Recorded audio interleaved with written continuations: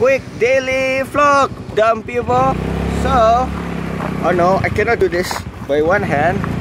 But uh, I just want to tell you something. But this night is actually the night that I had the first training in welding inspector. And you will know what? What I get? What I get is a spiritual uh, understanding about my priority in life. And I think it's very good. It's really good. Oh shit! Just oh so dark. Okay, I guess that's it. Oh fuck me!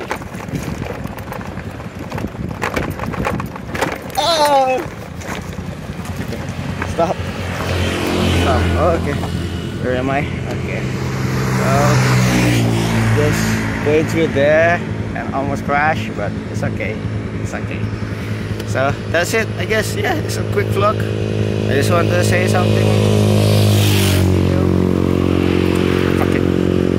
Fuck it all. Bye.